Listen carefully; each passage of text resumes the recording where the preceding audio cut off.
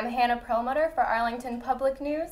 Tonight I bring you filmmaker Heidi Sullivan and her subject Ashley Norwood. They just filmed a documentary titled Ash Bash. Ladies, how are you? Good. Thank you so much for coming here. Thanks yes. for having us. So, what is the story about on a grand scale?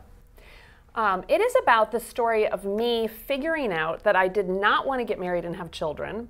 Um, and deciding to throw for myself the wedding reception that I knew I was never going to have. Growing up, I could never imagine being married, but I could always imagine the reception I was going to have, the party.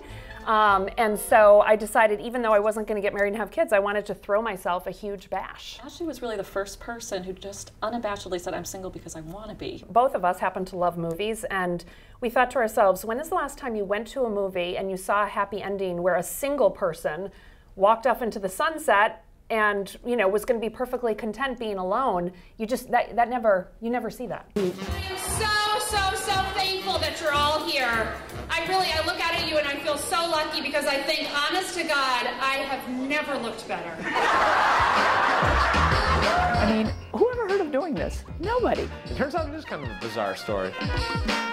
So something that's been very rewarding is that as we've been on the festival circuit the film's really been appealing to people of all demographics um, and people have come up to us afterwards saying, you know, I'm a widow, I'm divorced, I'm married, I'm a teenager, you know, that's my story.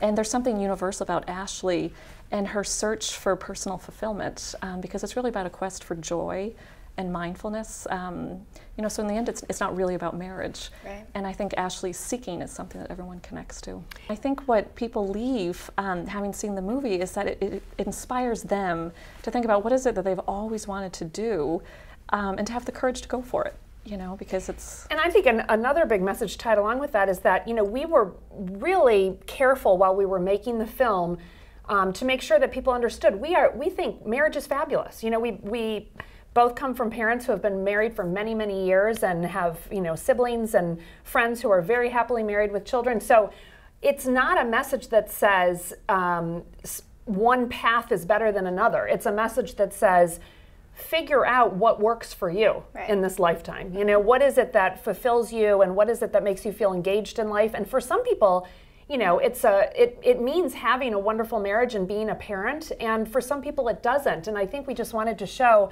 I think so often people think if you don't take this one path, then you may not have a fulfilling life. And we just wanted to show, hey, there's this other there's this other option. Well, it was so so great talking to you ladies. I really appreciate it. You can catch the second screening of Ash Bash on September 26th at 7:30 at the Regent Theater in Arlington. Thank you for tuning in. I'm Hannah Perlmutter for Arlington Public News.